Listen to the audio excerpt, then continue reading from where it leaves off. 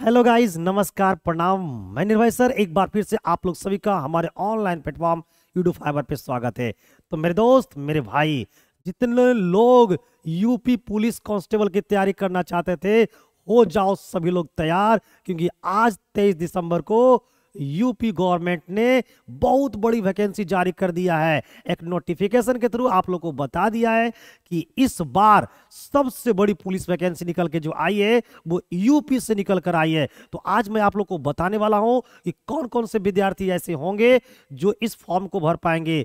इसमें एज कितने लोग माने गए? मिनिमम एज क्या है? मैक्सिमम एज क्या है?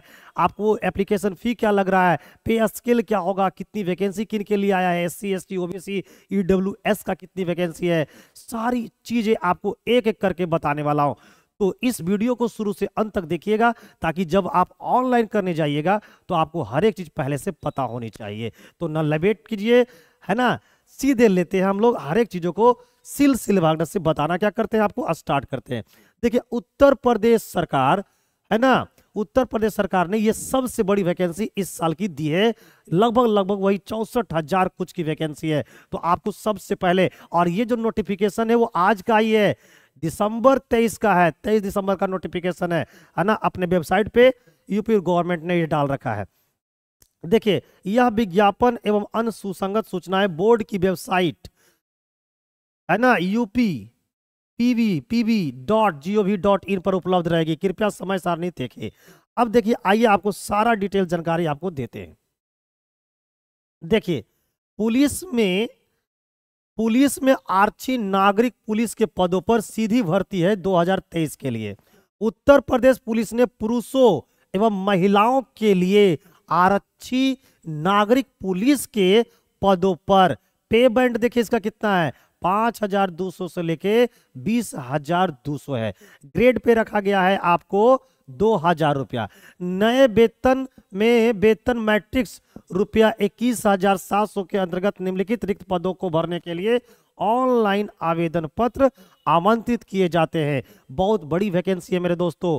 एकदम आराम से क्या करना, तैयारी करना है। एक एक चीज़ को यहाँ पर हम आपको बताने वाले हैं, सिलेबस क्या होगी, कैसे आपको मैं पढ़ाऊँगा ये भी आपको बेहतरीन तरीके से बताने वाले हैं। तो कहीं नहीं जाइए, आराम से वीडियो को शुरू से अंत तक देखिए ताकि आपको कोई दिक्कत नहीं होगा।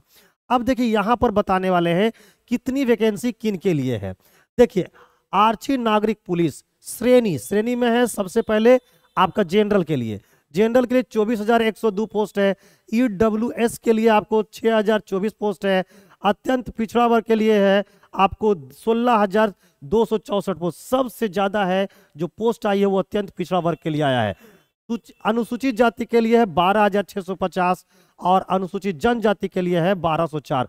टोटल जो पोस्ट है, वो साठ हज़ार दो सौ चौवालीस पोस्ट है मेरे दोस्तों। ये बहुत बड़ी वैकेंसी है यूपी गवर्नमेंट के लिए। तो आप लोग अगर चाहते हो कि यूपी में पुलिस कांस्टेबल की एक बेहतरीन तैयारी करवाई जाए और तैयारी करना है तो मेरे दोस्त हमारे साथ ज़रूर बने रहिएगा। आगे आपको एक एक चीज़ आपको बताने वाले हैं। देखिए यहाँ पर। यहाँ पर लिखा हुआ है कि आर्ची नागरिक पुलिस के पद पर भर्ती हेतु पुलिस पुलिस एवं पुरुष एवं महिला अभर्ती दोनों ही एप्लीकेबल है। ठीक है ना? आगे देखिए यहाँ पर क्या क्या लिखा हुआ है। ऑनलाइन आवेदन और शुल्क जमा प्रारंभ की जो तिथि है। ऑनलाइन स्टार्ट कितने तारीख को होने वाली है? तो ऑनलाइन स्टार्ट हो जाएगी आपका सत्ताईस दिसंबर से, यानी कि आज तेईस है यानी कि चार दिन बाद। अच्छा ऑनलाइन जो पैसा जमा करने की जो अंतिम तिथि है एप्लीकेशन फ़ी जमा करने की अंतिम तिथि है 16 जनवरी को है, ठीक है ना? और जो शुल्क ऑनलाइन ऑनलाइन जो स्टार्ट हो रहा है, वो आपको 27 दिसंबर से स्टार्ट हो रही है। लास्ट डेट ऑनलाइन करने का है आपको 16 जनवरी और लास्ट डेट पेमेंट करने का है आपको 18 जनवरी। ठीक है? तो एवरीथिंग आपको मैंने बता दिया हूँ। अब आपको बताने वाला हूँ कि शुल्क कितना लगेगा। एक एक चीज़ बताने वाला हूँ। देखिए, आवेदन जो शुल्क है ना, वो चार सौ रुपया रखा गया, चार सौ रुपया रखा गया है। है ना? अब आइए देखते हैं जरा सा सिलेबस वगैरह क्या है कौन कौन लोग इस फॉर्म को भर सकते हैं, ये दिया है। शैक्षणिक योग्यता क्या मांगा गया, देखिए। शैक्षणिक योग्यता मांगा गया कि भारत में विधि द्वारा स्थापित बोर्ड द्वारा दसवीं, यानी दसवीं पास विद्यार्थी भी इस फॉर्म को भर सकते हैं।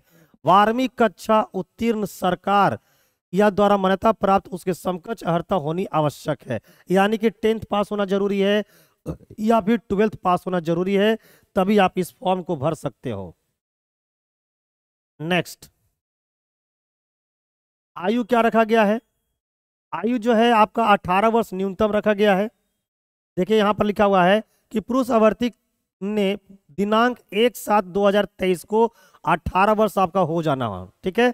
और 22 वर्ष की आयु प्राप्त न हो, न की हो अत्यार्थ अभ्यर्थी का जन्म 2 जुलाई 2001 से पूर्व तथा 1 जुलाई 2005 के बाद होना नहीं चाहिए। वैसे विद्यार्थी जिनका जन्म तिथि 2 जुलाई 2001 से पहले का है और 1 जुलाई 2005 के बाद है, वो विद्यार्थी एप्लीकेबल नहीं होगा।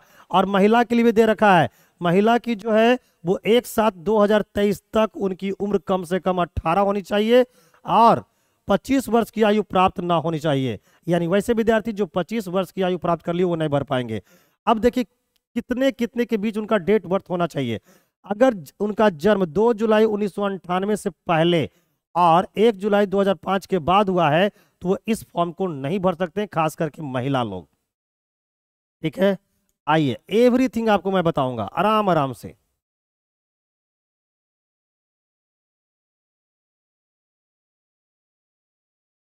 अब देखिए, लिखित परीक्षा। लिखित परीक्षा यानी कि सिलेबस के बारे में बोल रहा है कि ऐसे अभ्यर्थी जिनके आवेदन पत्र प्रथम दृष्टा नहीं, सही पाए जाएँगे, से ऑफ़ ऑफलाइन लिखित परीक्षा में सम्मिलित होने की अपेक्षा की जाएगी। लिखित परीक्षा में वस्तुनिष्ठ प्रकार के होंगे, यानी जो एग्ज़ाम होने वाला वो आपका एमसीक्यू होने वाला है, का प्रश्न पत्र रखा जाएगा। लिखित परीक्षा 300 अंकों की होगी। जो लिखित परीक्षा होगी, वो कितने अंकों की होगी? 300 अंक की होगी, जिसकी समय अवधि दो घंटे का होगा। यानी लिखित जो परीक्षा होगा, वो तीन घंटे, आपको 300 अंकों का होगा और टाइम जो है वो दो घंटों की होगी। इस लिखित परीक्षा में निम्नलिखित चार विषय होंगे। पहला विषय समान ज्ञान का है, दूसरा है समान हिंदी का तीसरा आपका समान संख्यात्मक एवं मानसिक योग्यता, यानी कि मैथ और रीजनिंग का है। और चौथा जो है, आपका मानसिक अभिरुचि है, बुद्धि एवं चौथा, है ना, तार्किक क्षमता है। अभ्यर्थियों को लिखित परीक्षा में गलत उत्तर देने के लिए ऋणात्मक अंक प्रदान किए जाएँगे, यानी कि निगेटिव मार्किंग भी इसमें है। ठीक है ना? इस लिखित परीक्षा में कुल डेढ़ सौ प्रश्न होगा। टोटल प्रश्नों की संख्या डेढ़ सौ होंगे, जिनमें प्रत्येक सही उत्तर के लिए दो अंक निर्धारित है। आर्ची भर्ती की नियमावली के अनुसार उक्त भर्ती में अभ्यर्थियों का प्रत्येक गलत उत्तर के लिए 0.5 ऋणात्मक प्रदान किया जाएगा। यानी निगेटिव क्या है? 0.5 एक क्वेश्चन अगर सही बनाइएगा तो आपको दो अंक मिला जाएगा और अगर एक गलत कर दीजिएगा तो आपको 0.5 अंक काट लिए जाएँगे। ये डिटेल्स जानकारी है यूपी पुलिस कांस्टेबल वैकेंसी 2023 के लिए। अब जो परीक्षा है वो आपका ओ सीट पर लिया जाएगा। ठीक है? क्लियर है यहाँ पर? अभ्यर्थियों के अनुसार लिखित परीक्षा एक ही दिनांक को एकल पाली में अथवा एक से अधिक पाली में अथवा एक से अधिक दिनांकों को विभिन्न प्रश्न पत्र के साथ विभिन्न पालियों में कराई जाएगी। लिखित परीक्षा एक से अधिक पालियों के अथवा एक से अधिक दिनांकों को विभिन्न पालियों में प्रश्न पत्रों द्वारा संचालित की दशा में परीक्षार्थियों को सम्मिलित होने वाले विद्यार्थियों के अंकों के अच्छा यानी इसमें नॉर्मलाइजेशन भी किया जाएगा। साफ़ साफ़ लिख दिया गया है। नॉर्मलाइजेशन भी करने वाले हैं।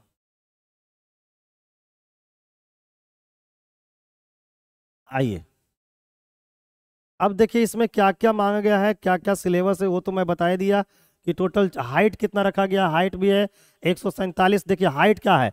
अनुसूचित जनजाति की महिलाओं के लिए जो न्यूनतम ऊंचाई है, वो एक है। और अगर आप जनरल है या फिर आप अत्यंत पिछड़े वर्ग है या अनुसूचित जाति है, अगर उनके महिला की बात करें तो महिलाओं के लिए एक सौ बावन रखा गया है। ठीक है ना? अब अगर मैं पुरुष की बात कर लेता हूँ, ये तो महिला की बात थी है ना? पुरुष की बात क्या गया है? देखो यहाँ पर। देखिए यहाँ पर पुरुष की बात बता रहा है। पुरुष को हाइट कितना चाहिए? अगर आप जनरल से हैं या फिर आप अत्यंत पिछड़ा वर्ग है या अनुसूचित जनजाति के पुरुष वर्ग हैं तो आपको एक सौ अड़सठ न्यूनतम ऊंचाई रखा गया है और जो अधिकतम है है ना, अनुसूचित जाति के लिए पुरुष के लिए आपको रखा गया है 160 अनुसूचित जनजाति के पुरुष के लिए रखा गया है कितना? 160 रखा गया है। तो ये हाइट थी, उसी तरह से वज़न है, सारा कुछ दिया गया इसमें। बहुत डिटेल्स जानकारी के साथ आपको दिया जा रहा है। तो भाई, बहुत बड़ी वैकेंसी आप लोगों के लिए। आप लोग एकदम क्या हो जाओ, तैयार हो जाओ। तो इस तरह की पूरी वैकेंसी है। ठीक है?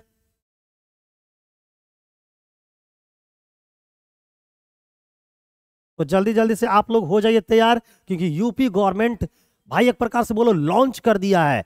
युवाओं के लिए सबसे बड़ी वैकेंसी यूपी पुलिस कांस्टेबल 2023 तो आप लोग जल्दी जल्दी से जाइए, ऑनलाइन कीजिए, है ना? 27 तारीख से ऑनलाइन हो जाएगा, है ना? 16 तारीख को लास्ट डेट है ऑनलाइन का 18 तारीख को लास्ट डेट है पेमेंट करने का। तो देर किस बात की? और क्लास मैं करवाने वाला हूँ बहुत ही बेहतरीन तरीके से। Thank you bye